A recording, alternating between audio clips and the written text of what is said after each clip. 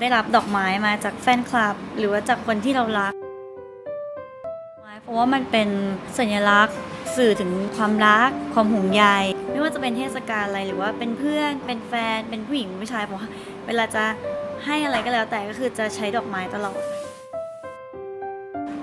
ชอบให้ดอกไม้คนอื่น เวลาเห็นคนอื่นเขา สีหน้าเวลาเขาได้รับดอกไม้แล้วหน้าเขาดีใจหรือมีความสุขเวลายิ้มกับดอกไม้ถ่ายกับดอกไม้แล้วส่งมาให้เราดูเราก็รู้สึกมีความสุขไปด้วย มันมีความสุขเพราะว่าด้วยสีสันของดอกไม้ด้วยโฟเป็นคนชอบสีหวานๆแล้วพอได้มาอยู่กับดอกไม้ที่มีกลิ่นหอมๆแล้วก็มีสีหวานๆเนี่ยรู้สึกมีความสุขแล้วพอจัดปุ๊บเนี่ยโฟเป็นคนใจเย็นขึ้น ใจเย็นขึ้นค่ะ เพราะปกติเนี่ยบางเรื่องเนี่ยเป็นคนใจร้อนมากแต่ดอกไม้เนี่ยต้องค่อยๆ จับถ้าเกิดจับแรงไปมันก็หักแล้วอะต้องค่อยๆ จับค่อย ๆ วาง แล้วก็ดูภาพรวมของสีด้วยค่ะเป็นร้านดอกไม้เล็กๆนะคะ ร้านหนึ่งที่โฟตั้งใจทำเพราะว่าด้วยความชอบ